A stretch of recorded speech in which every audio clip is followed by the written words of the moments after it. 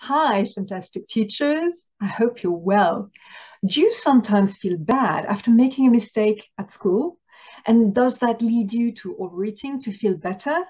Well, that's exactly what happened to one of my clients recently. And we thought that it would be a great topic to share with you so that you would know three steps to follow so that you would feel comfortable without overeating. So that's what I've got for you today. I'm inviting you to discover and maybe follow my th simple three-step method so that you will learn what the real cause of the issue was. And then you will be able to take a step back. And maybe you've already experienced that. Whenever we take a step back, it usually provides us with relief. So here's what happened to my client recently. She's a teacher in a secondary school, and most, uh, most particularly, most specifically, she's a math teacher. And during a math lesson, she made a mistake that she wrote on the board. Instead, for the sake of simplicity, instead of writing uh, B, she wrote A.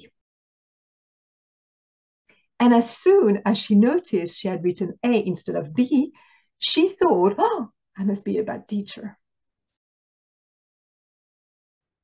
When she thought, I must be a bad teacher because she had written A instead of B, immediately she started feeling ashamed. And so, what did she do from that place of shame? Well, she did three main things.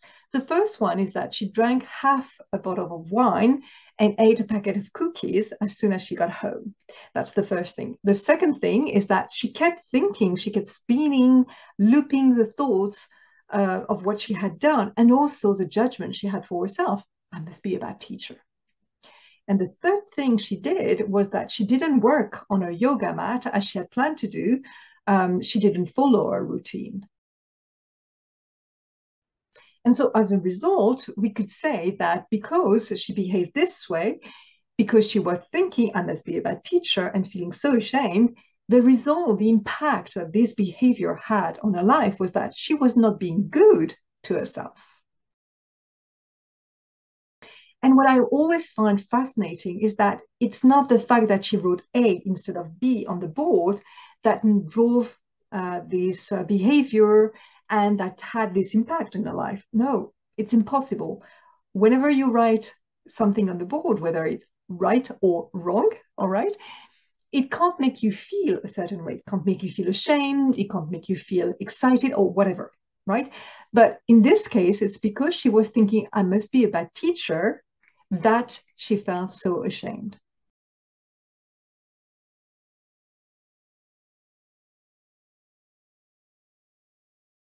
And so notice that it's because she was thinking, I must be a bad teacher, that she created this impact in her life, that she was not being good to herself.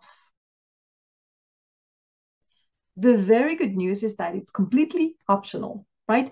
She's not, she doesn't have to believe she must be a bad teacher about herself, right? Especially since we've seen that from that thought, I must be a bad teacher, she felt ashamed. And when she felt ashamed, she had a behavior that she did not actually want to have, right? So we can see that it was not helpful at all to her. So let's dive into more details here. What's the problem with the thought, I must be a bad teacher? Well, there are three things that we can point out. The first thing is that she associated I as if I equaled bad teacher. It's as if it was part of her DNA, right? When in reality, instead of generalizing and making it and making it her identity, we could go back to what happened at a specific moment in time. She wrote A, instead of B. That's all that happened. The second thing that we can see is that she had this judgment about herself bad, I must be a bad teacher, right?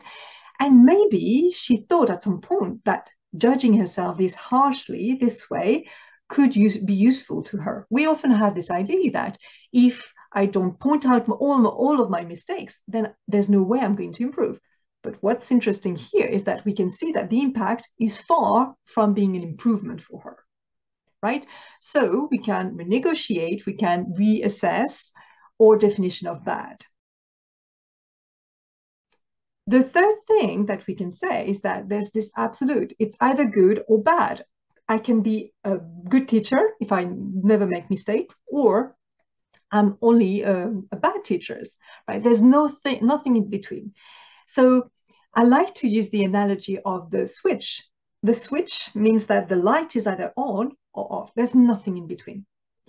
We could also use the analogy of the thermostat, right? Or the volume button, right? You can turn it right or turning left, turning up or turning down, right? And maybe it's the same thing. Maybe there's no such thing as a good or a bad teacher, but there's only a spectrum on which you are at some point in time, and that you can always go one way or the other, depending on what you want. So, what to do now, right? How can we feel peaceful knowing that, yes, she wrote A instead of B? So, what I'm offering you today is uh, three steps. The first one is to, when you notice you're overeating or over drinking or not working out, not following your routine, or beating yourself up in your head, it's a sure sign that something's going on for you. So, what I could encourage you to do is to just take a pen and paper or your dictaphone or your uh, laptop or whatever suits you, suits you the best and set your timer for just five minutes and do a thought download. Just put on paper whatever's in your mind, right? That's the first step. The second step after noticing could be simply to question. So what I'm going to suggest is that you focus on one sentence from all those thoughts. You had everything you've written, just pick one sentence, right? And ask yourself, what's true about it? What's not true about this sentence? So what questions can you ask yourself when you want to question one sentence that you've picked up? Well, here are three possibilities. The first question you could ask yourself is, okay, what makes a teacher good or bad? You could have two lists, good teacher, bad teacher, and I really want to encourage you to have several items on each side, on each list, right? Not just a good teacher never makes mistakes, right? Because I doubt that such a teacher ever existed, right? A second question you could ask yourself is who decides whether you're a good or a bad teacher? Who gets to choose? Who gets to define and identify you as good or bad? And the third question could be, okay, knowing that, yes, indeed, you wrote A instead of B, and we could see that as a fact, everybody would agree that, yes, there was A instead of B written on the board. How do you want to treat yourself knowing that?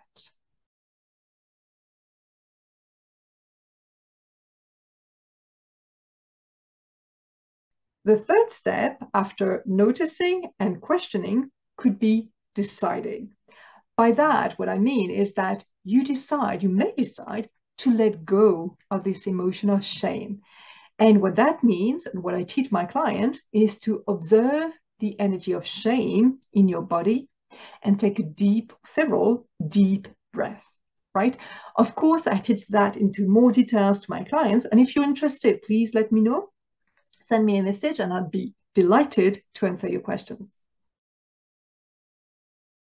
And here are three thoughts that could help you decide to release, to let go of the thought, I must be a bad teacher, and the shame that comes from this thought.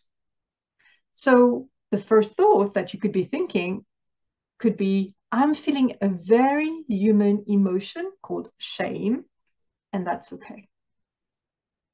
The second thought that you could be willing to explore and think of more often could be, of course, I'm feeling ashamed because I'm thinking I must be a bad teacher. And it doesn't mean it's true.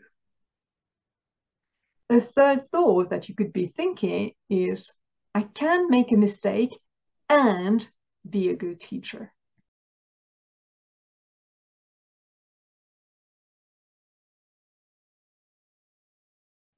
That's it.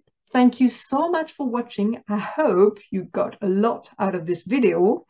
and that you're going to use all those tips the next time you feel ashamed because you're thinking, I must be a bad teacher, if you've made a mistake. I wish you a very good rest of your day. Take care. Bye.